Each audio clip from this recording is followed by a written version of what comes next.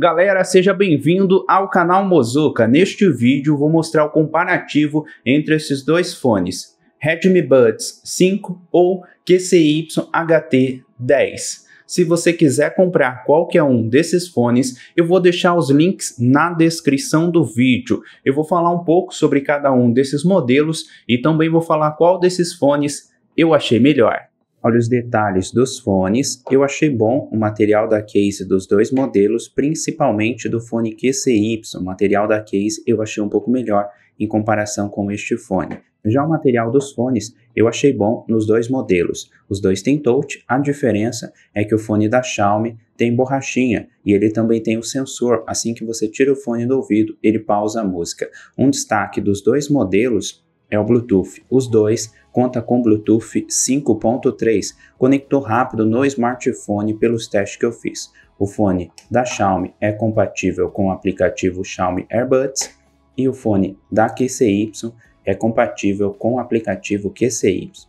Já sobre a bateria, o fone QCY HT10 você consegue escutar aproximadamente 5 horas de música contínua com modo de cancelamento de ruído ativo desativado, depende do volume. Eu achei um pouco simples a autonomia da bateria deste fone, já o fone da Xiaomi, a autonomia da bateria dos fones é melhor. Você consegue escutar até 10 horas de música contínua com o modo de cancelamento de ruído ativo desativado. Depende do volume. E ele também tem um sensor, assim que você tira o fone do ouvido, pausa a música, assim também economizando a bateria dos fones. Olha a diferença dos fones, como eles ficam no ouvido. Os dois fones têm touch, eu achei os dois confortáveis no ouvido. Os dois também têm cancelamento de ruído ativo de 46 decibéis, mas eu achei o fone da Xiaomi o cancelamento de ruído ativo um pouco melhor. Olha a diferença dos fones. Eu achei o fone da marca QCY um pouco mais confortável no ouvido e são essas algumas diferenças entre eles.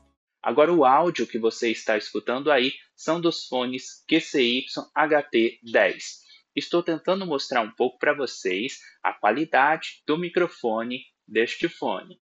Agora o som que você está escutando aí são dos fones Redmi Buds 5. Estou tentando mostrar um pouco para vocês a qualidade do microfone deste modelo.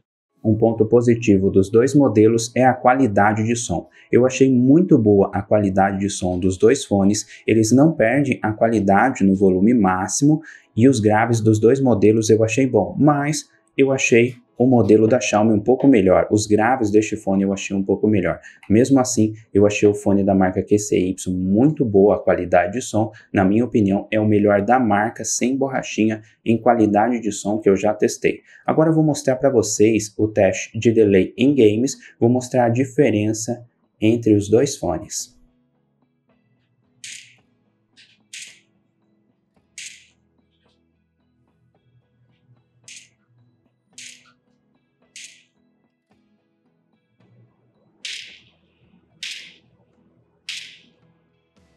E sobre os valores, o fone Redmi Buds 5 está custando aproximadamente 180 reais, importado já com as taxas de importação incluso no momento que eu estou gravando esse vídeo. Já o fone QCY HT10 está custando aproximadamente 200 reais, importado já com as taxas de importação incluso no momento que eu estou gravando esse vídeo. Se você quiser comprar qualquer um desses fones, eu vou deixar os links na descrição do vídeo. Não esqueça de deixar seu like, se você ainda não for inscrito, inscreva-se e ative as notificações. Muito obrigado e até o próximo vídeo.